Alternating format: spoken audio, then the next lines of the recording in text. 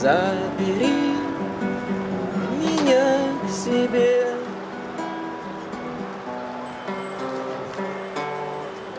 Hi, my name is Artur and I'm from Estonia, uh, Tallinn. So I am student and I'm very well so happy that there is so many people like me. it's very funny, I think. I want to change words, change the earth uh, because I think that people must love each other and and I don't know.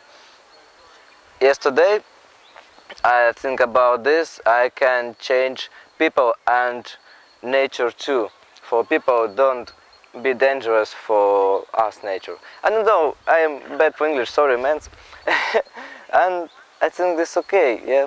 It's so it's so beautiful. And for for us people I want to say hello and don't worry, be happy. Забери меня к себе Я так устал бежать За тобою вслед Открой глаза Закрой лицо